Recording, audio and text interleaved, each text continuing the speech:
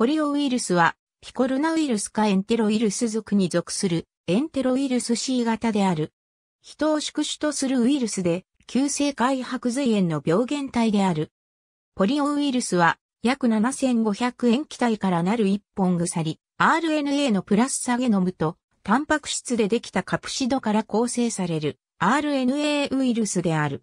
ウイルス粒子は直径約30ナノメートルの正二重面体、構造も持つ。ゲノムが短い、エンベロープを持たず、RNA とそれを包む、正二重面体の形状をしたカプシドのみからなる、単純な構成であるといった特徴から、重要なウイルスの中では最もシンプルなウイルスであると認識されている。ポリオウイルスは1909年にカール・ラントシュタイナーとエルビン・ポッパーの二人によって初めて分離された。1981年には2つの研究グループ、MIT のヴィンセント・ラキャネロとデビッド・ボルティモアのグループ、及びニューヨーク州立大学、ストーニーブルック校の北村直ネとエッカード・ウィーマーのグループがそれぞれポリオウイルスのゲノムを報告している。ポリオウイルスは非常に研究が進んでいるウイルスの一つであり、RNA ウイルスの生態を理解する上で役に立つモデルとなっている。ポリオウイルスの増殖管はウイルスが細胞表面の受容体である CD155 に吸着することで開始する。ウイルス粒子はエンドサイトーシスによって取り込まれ、ウイルスの RNA が放出される。ウイルス RNA は IRs 依存的に翻訳される。線具体タンパク質が消化され、成熟したウイルスタンパク質が産生される。プラス差の RNA を異型として相補的なマイナス差が合成され、二重差の増殖型 RNA が産生される。マイナス差の RNA を異型に多量のプラス差 RNA が複製される。新しく合成されたプラス差 RNA は、さらなるウイルス RNA の翻訳に用いられるほか、カプシドに包まれ、最終的に娘ウイルス粒子を形成する。感染細胞が溶解されることで感染性の娘ウイルス粒子は細胞外へ放出される。ポリオウイルスは人の細胞の細胞膜上に存在する免疫グロブリン様受容体 CD155 に結合することで細胞内に侵入する。ポリオウイルスと CD155 の相互作用がウイルスの細胞内侵入に必要な不可逆的な立体構造の変化をウイルス粒子に引き起こす。細胞膜に吸着したウイルスは次のいずれかの方法で拡散を細胞内に送り込むと考えられていた。細胞膜に穴を形成し、そこから RNA を宿主細胞の細胞質へ注入する。ウイルス自体が受容体介在性エンドサイトーシスによって細胞内へ取り込まれる。近年の研究成果は後者の仮説を支持し、ポリオウイルスが CD155 と結合して細胞内へエンドサイトーシスによって取り込まれることを示唆する。細胞内へ吸収されたウイルス粒子は直ちに RNA を放出する。ポリオウイルスはプラス RNA ウイルスであるため、ウイルス粒子内に包み込まれたゲノムはそのままの状態でメッセンジャー RNA として機能し、宿主細胞のリボソームによって直ちに翻訳される。細胞への侵入に際し、ポリオウイルスは宿主細胞の翻訳機構を乗っ取り、ウイルスタンパク質の酸性に有利に働くよう、細胞性のタンパク質の代謝を阻害する。宿主細胞のメッセンジャー RNA とは異なり、ポリオウイルスの RNA の5末端は700塩基を超える極端に長いもので、かつ複雑な工事構造を持つ。ウイルスゲノムのこの領域は配列内リボソーム、侵入部位と呼ばれ、ウイルス RNA の翻訳を導く。IRs の変異は、ウイルスタンパク質の産生を妨げる。ポリオウイルスのメッセンジャー RNA は翻訳されることで、ウイルス特異的タンパク質の線具体である一本の長いポリペプチドを生じる。このポリペプチドはさらに線具体自体が内包するプロテアーゼによる自己消化を経て以下に示すおよそ10個のウイルスタンパク質となる。1型ポリオウイルスのゲノム構造合成された部品がどのように集合して新しいウイルス粒子を形成するのかは完全には理解されていない。集合を経て完成したウイルス粒子は培養された哺乳類細胞へ感染してから4から6時間で宿主細胞から放出される。ウイルス放出のメカニズムははっきりとしないが、細胞1個あたり最大1万個のウイルス粒子を放出する。ドレークはポリオウイルスが多重再活性をし得ると報告している。この現象により、ポリオウイルスは紫外線照射を受けて不活化を受けても、一細胞に多重感染することで一粒子の単独感染では、不活化される紫外線照射量において生きた子孫ウイルス粒子を形成することができる。ポリオウイルスは他のヒトエンテロウイルスと似た構造を持っている。これらのウイルスも、また、宿主細胞の認識と侵入に免疫グロブリン様受容体を利用する。ポリオウイルスの RNA 及びタンパク質の系統解析からは、ポリオウイルスが A 群国策キーウイルス C クラスターの共通祖先からカプチドタンパク質内に変異を起こすことで進化した可能性が示唆される。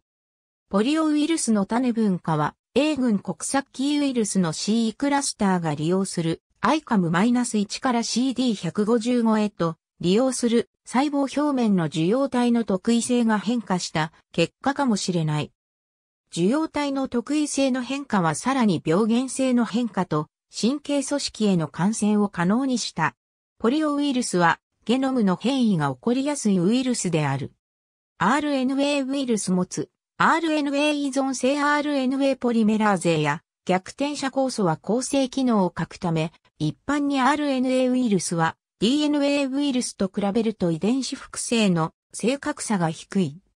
ただ、ポリオウイルスの場合は、他の RNA ウイルスと比べても、さらに高い頻度でゲノムに変異が起きることが知られている。具体的には、アミノ酸の置換を伴わない変異が、塩基あたり 1.0x10 日間、年、アミノ酸の置換を伴う変異が、塩基あたり 3.0x14 日間、年の確率で、それぞれ発生する。ゲノム中の塩基の分布は均等でなく、アデノシンの比率は5末端側では期待値より低く、3末端側では高い。使用コドンにも偏りが存在し、アデノシンで終了するコドンが好まれる一方、シトシンやグアニンで終了するコドンは避けられている。使用コドンの傾向は、下記の3系統で異なり、この違いは選択圧ではなく突然変異によって引き起こされるようである。ポリオウイルスは結成型によって、さらに1型、2型及び3型の3つに分類され、これらの結成型はカプチドタンパク質がわずかに異なる。このカプシドタンパク質の違いによって、細胞の受容体の特異性とウイルスの抗原性が変化する。1型が野生型として最もよく見られるが、すべての型が高い感染性を示す。2015年11月現在、野生型の1型は、パキスタンやアフガニスタンの一部地域に極在している。野生型の2型は1999年10月に、インドのウッタルプラデーシュ州で検出されて、以来報告がなく、2015年9月に根絶が宣言された。2015年11月現在、野生型の3型は2012年にナイジェリアとパキスタンの一部で検出されて、以来報告されていない。各血清型のうち、特定の株がポリオワクチンとして用いられる。不活化ポリオワクチンはいずれも病原性、標準株であるマホーニーないし、ブルネンダース、メフマイナス -1、ランシング、サウキット、レオンの3株をホルマリンにより不活化することで製造される。経口ポリオワクチンは弱毒性ワクチンであり、弱毒化された核結成型のポリオウイルスを含む。1960年代に世界的に使われるようになったさ、瓶のアップ部では、1型と3型が去る腎臓上皮細胞でのウイルス形態を経て作成されている。また、すべての型のワクチン株がウイルスゲノムのアヤーズ領域に変異を持ち、特に1型と3型における病原性の低下に大きく寄与していると考えられている。過去にはポリオウイルスはピコルナウイルスかエンテロウイルス属の独立種として分類されていた。2008年に分類が見直され、ポリオウイルスの核結成型はいずれもエンテロウイルス属の独立種から外れ、ピコルナウイルスかエンテロウイルス属比とエンテロウイルス C 型に加えられている。また、エンテロウイルス属の標準種もポリオウイルスからエンテロウイルス C 型へと変更されている。ポリオウイルスの電子顕微鏡像どのウイルスにおいても、感染性率の可否は、主に細胞侵入と感染性粒子の再形成の2点によって決定される。ポリオウイルスの場合は、CD155 の存在が感染の成立する動物種と組織を決める。CD155 は人、高等霊長類、及び旧世界ザルでのみ認められる。しかしながら、ポリオウイルスは非常に人に特異的なウイルスであり、自然環境下で他の霊長目に感染することはない。CD155 遺伝子は性の選択の対象となっているようである。CD155 はシグナルペプチド D1 から D3 の3つの細胞外、ドメイン、膜貫通ドメイン、及び細胞内ドメインから構成される417アミノ酸残基調のタンパク質で、そのうち D1 ドメインがポリオウイルス結合領域である。特に D1 ドメインの37個のアミノ酸残機がウイルスとの結合に重要である。ポリオウイルスはエンテロウイルス属のウイルスであり、感染は噴光感染による。つまり、ポリオウイルスを摂取したとき、ウイルスの増殖は消化管内で行われる。ウイルスは感染患者の糞便とともに排出される。95%の患者は一時的にウイルス血症となるが、症状は不健性である。約5%の患者において、ウイルスは消化管以外に褐色脂肪組織、細毛内皮系、筋組織などの組織へ拡散し、増殖する。ウイルスの持続感染は二次的なウイルス血症と、発熱、頭痛、喉の痛みといった軽微な症状を引き起こす。麻痺性の急性開白髄炎を生じるのは1%に満たない。麻痺は、ウイルスが中枢神経系に侵入し、脊髄、脳幹、大脳皮質運動野の運動ニューロンの細胞内で増殖した場合に発症する。運動ニューロンへの侵入と増殖により、運動ニューロンの選択的破壊を招き、結果的に一時的か永続的な麻痺となる。稀に麻痺性の急性灰白髄炎は呼吸停止を招き、死に至る。麻痺型の場合は、虚弱と麻痺の発症前に筋肉痛や痙攣が頻繁に観察される。典型的には麻痺は回復の前に数日から数週間持続する。あらゆる点で神経への感染は通常の消化管感染から偶発的に生じると考えられている。どのようにポリオウイルスが中枢神経系へたどり着くかはほとんど理解されていない。この神経系への侵入機構については3つの廃反な仮説が提示されてきた。いずれの仮説もまずウイルス血症が前提となる。第1の仮説は、ウイルス粒子が CD155 とは無関係に血液の関門を直接通過して血液から中枢神経系へ侵入するというものである。第2の仮説はウイルスを含む血流にさらされた筋などの末梢組織から逆行性軸索輸送によって神経を通って脊髄へ移行するという説である。第3の仮説はウイルスが感染した単球マクロファージを通じて輸送されるというものである。急性開白髄炎は中枢神経系の疾患である。しかしながら CD155 はほとんどのあるいはすべての人の細胞の表面に存在しているとされている。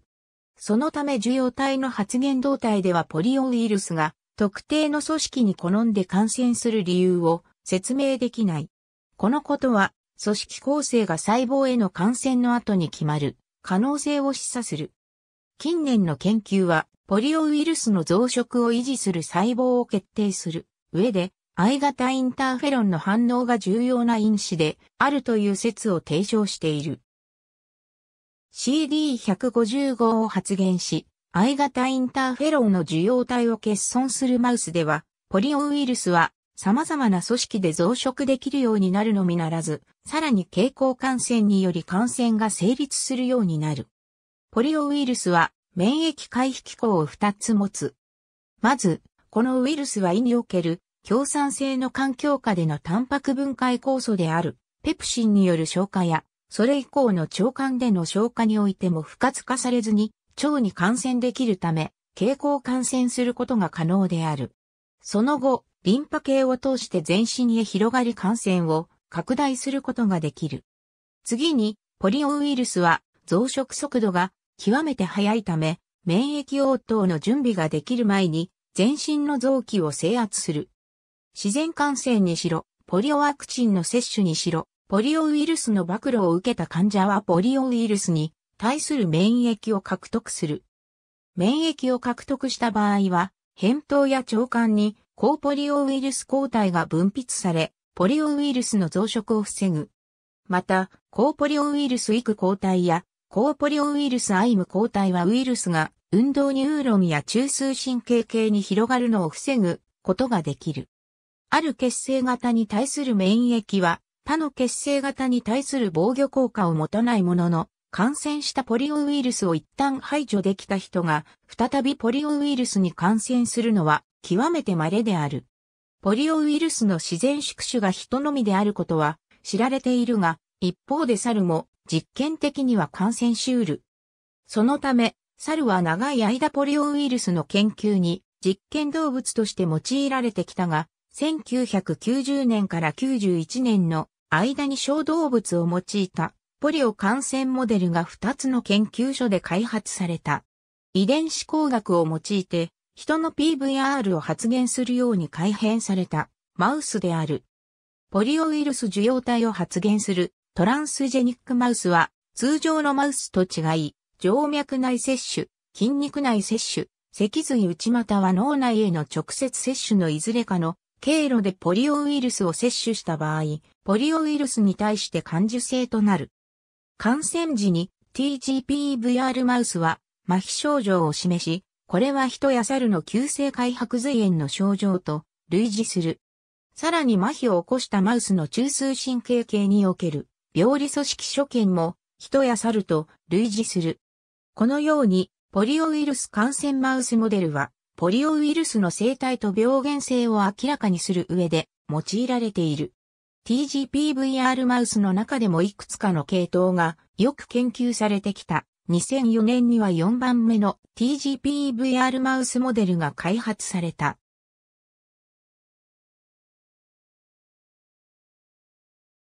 この CPVR、マウスは、ベータ、アクチンプロモーターによって支配される HPVR の CDNA を持ち、脳内、筋内、警備の摂取経路で感受性であることが証明されている。加えてこのマウスは、円髄ポリオ警備摂取によって発症しうる。TGPVR マウスの開発は、経口ポリオワクチンの生産に計り知れない影響を与えてきた。以前はアップ部の安全性試験には、唯一の感受性動物である猿を用いる必要があったが、1999年に、風は3型ポリオウイルスワクチンの効果評価における代替法として TGPVR マウスの使用を認めた。2000年にはさらに1型及び2型のワクチンにおいても試験でのマウスモデル使用が認可された。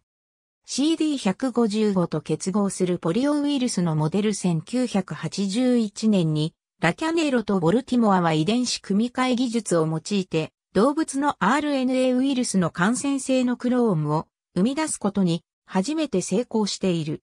この時に作成されたのがポリオウイルスであり、ポリオウイルスの RNA ゲノムをコードする DNA を培養哺乳類細胞に導入することで感染性のポリオウイルスが産生された。感染性クローンの作成は、ポリオウイルスの理解を進め、この技術は様々なウイルス研究の場で標準的な技術となった。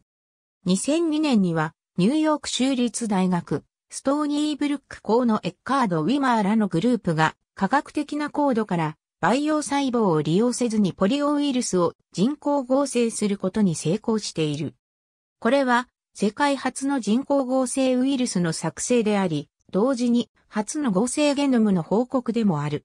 彼らはまず基地の7741塩基調のポリオウイルス RNA ゲノム配列を人工合成が比較的容易な DNA の配列に変換した。ポリオウイルスゲノムの合成は以下の方法によってなされた。まず、DNA 配列を分断化した数十塩基調の短い DNA 断片を発注し、これを組み合わせて多数の400から600塩基調の配列を作成する。さらに、これを切り張りすることで、約2から3キロ塩基調の断片を3つ作成。この3つの断片を DNA 合成会社が組み合わせて完全調のポリオウイルスゲノムを合成した。この丹念なウイルス合成の全工程には2年を要している。人工ポリオウイルスと野生型と区別するためには19のマーカーが合成 DNA に組み込まれた。合成 DNA は酵素によって RNA へ変換され、さらに別の酵素を利用した RNA から機能的ウイルス粒子を産生するためのポリペプチドが翻訳された。新たに合成されたウイルスは PVR マウスへ摂取され、人工的に合成されたウイルスが感染性を持つか試験された。合成ウイルスはマウス体内で増殖も感染も可能であり、さらにマウスに対し麻痺や死を引き起こすことも可能であった。ただし、合成ウイルスは元のウイルスと比べ1000倍から1万倍病原性が低下していた。ありがとうございます。